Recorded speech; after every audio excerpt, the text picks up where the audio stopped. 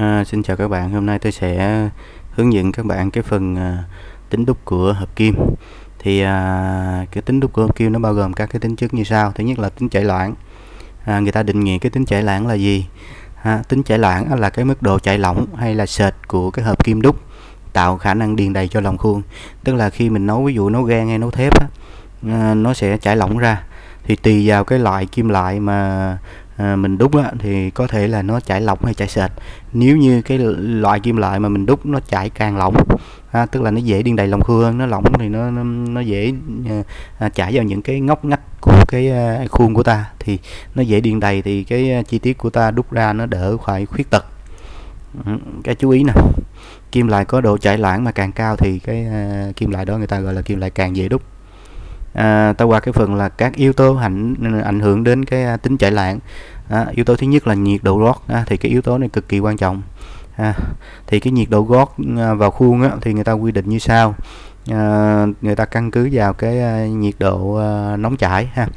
Thì à, nó có là cái nhiệt à, cái độ quá nguội nó có một cái khái niệm gọi là độ quá nguội.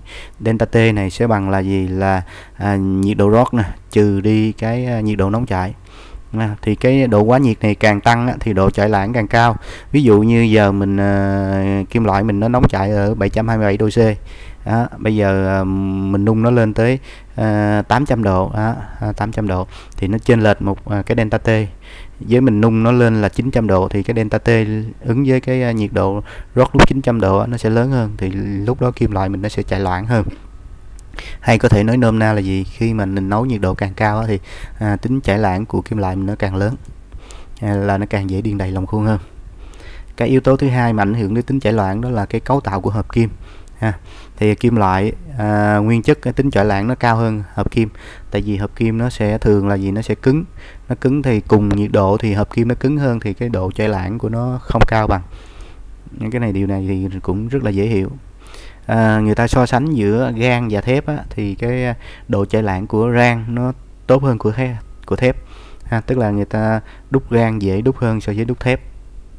Đây là một cái à, nguyên nhân mà các bạn để ý thấy các cái chi tiết làm bằng gan á, thì thường là người ta chọn à, cái phương pháp đúc để tạo phôi là chủ yếu.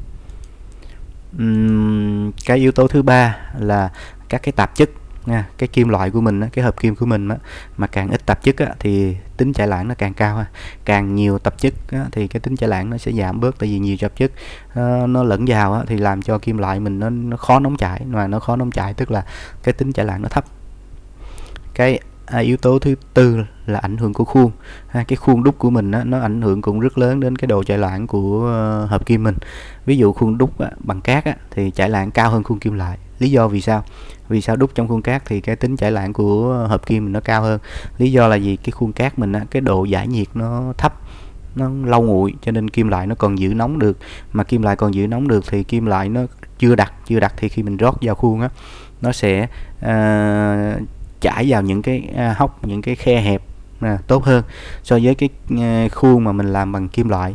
Ha, cái khuôn mà làm bằng kim loại á, khi mà mình à, rót cái kim loại lỏng của mình vào đó, thì nó sẽ giải nhiệt nhanh. Nó giải nhiệt nhanh thì những cái uh, chi tiết nào á, mà nó nó mỏng á, thì nó giải nhiệt nhanh quá nó nguội nó nguội nó đặt lại luôn. À, thì có khả năng nó chưa điền đầy được hết trong cái lòng khuôn à, cái à, ảnh hưởng nữa đó là thành khuôn. À, nếu mà cái thành khuôn của mình nó nhẵn á, thì tính chảy lãng nó cao hơn cái thành khuôn nhám. Tại vì thành khuôn nhẵn nó ít ma sát khi mình rót kim loại vào thì kim loại nó chảy. Ha, nó, cái vận tốc chảy của kim loại nó nhanh hơn ha, nó tốt hơn. Còn cái thành khuôn mà mình nhám á, nhám á, thì khi mình rót kim loại vào thì cái um, lực hút của thành khuôn á, à, lực hút bề mặt á, nó giữ cái cái cái cái dòng chảy của kim loại à, lại. Cho nên là gì? Nó sẽ làm cho cái vận tốc của kim loại giảm đi. Mà lượng cốc kim loại giảm thì nó sẽ uh, tốn nhiều thời gian để điền đầy lòng khuôn hơn. Mà tốn nhiều thời gian thì cái uh, nhiệt độ của cái kim loại của mình nó sẽ bị giảm xuống. Dẫn đến là nó có khả năng bị đặc trước khi mà điền đầy lòng khuôn cái ảnh hưởng thứ năm đó là ảnh hưởng của thành phần hóa học. Thì tùy theo các chất hóa học khác nhau mà nó làm tăng hoặc là giảm cái tính chảy lãng của hợp kim. À, ví dụ nè ví dụ như là silic và phosphor thì nó tăng cái tính chảy lãng của gan còn làm mang gan và lưu hình đó, nó làm giảm cái tính chảy lạng của gan. Thì tùy vào cái cái cái nguyên tố. Có trong hợp kim đó ha. Thì à, mình muốn tăng hay giảm thì mình sẽ điều chỉnh cái hàm lượng của các cái à, loại nguyên tố này. Cái à, kế tiếp đó là ảnh hưởng của các hình thức rót à, kim loại vào khuôn. À, ví dụ như ta rót mà rót à, chảy tầng tức là mình rót êm dịu á thì tính chảy lãng nó giảm ha. Tại vì mình rót êm dịu mình muốn rót êm dịu thì mình phải rót từ từ. Mà rót từ từ á, là nó lâu điện đầy lòng khuôn ha. Ờ, Rồi chạy rối thì nó tính chạy lạng nó tăng chạy rối là mình rót nó nhanh nó nhanh thì nó sẽ dòng dòng kim loại mình nó sẽ chạy lớn hơn. À, cái à, tính thứ hai của cái à, tính đúc của hợp kim đó là tính thiên tích. À, tính thiên tích đó là gì? Người ta định nghĩa cái tính thiên tích đó là cái sự không đồng nhất về thành phần hóa học à, trong từng vùng của vực đúc hoặc là trong nội bộ hạt tinh thể của hợp kim thì cái tính thiên tích này mình có học ở bên cái môn gọi là môn à, khoa học vật liệu á ha thì đối với đúc mà hợp kim á đúc các cái, cái kim loại hợp kim á thì cái tính thiên tích này là nó hay dễ xảy ra ha. nếu như cái uh, thời gian mà mình làm nguội khuôn lâu á, thì những cái kim loại tốt á, nó nặng những kim loại tốt thường nó nặng nó sẽ lắng xuống phía dưới ha. thì ở những cái chi tiết của mình đúc á, thì ở phía dưới đáy á, thường là kim loại tốt ha. còn ở phía trên thì kim loại nó không tốt bằng. Đó là cái tính thứ hai là tính thiên tích cũng hay bị trong lúc đúc. Cái tính thứ ba là tính co ha. Tính co là gì? Là hiện tượng mà giảm thể tích và chiều dài của hợp kim. Khi mà nhiệt độ giảm tức là gì? Khi mình nấu kim loại nóng chảy ra mình rót vào trong khuôn. Thì khi mình rót vào trong khuôn á, để nguội để nguội thì nó sẽ co lại ha. Cái cái cái cái kim loại mình nó sẽ co lại thì nếu như mình thiết kế cái khuôn ha, cái lòng khuôn của mình không đúng mình không có tính toán cái lượng co ngót đó thì khi nó co lại à, nó sẽ thiếu đi à, thiếu hụt kim loại hoặc là nó um, hụt bị hụt kích thước. Ví dụ mình muốn đúc một cái chi tiết đường kính phi 100 À, mà mình làm đúng phi 100 luôn thì mình khi nó kim lại mình nó co lại á, nó còn có 90 mấy thôi.